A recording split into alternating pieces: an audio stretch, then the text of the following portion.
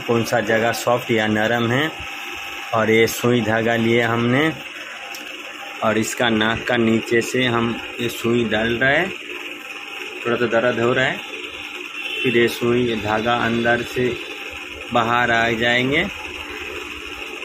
फिर इसको हम लोग सुई धागे से फिर इसको बाँध देंगे। ये जो है, ये देसी सिस्टम पेसिंग है।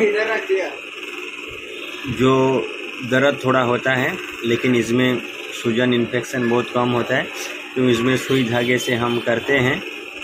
और ये जो जगह है, ये अभी फ़ैशन चल रहा है। हाँ लड़का, लड़की, सब लोग ये सिस्टम पेसिंग कर रहे हैं स्टम पेसिंग कर रहे हैं। अब भी कर सकते हैं। आप मेरा इस नंबर पे व्हाट्सअप या फ़ोन कर सकते हैं।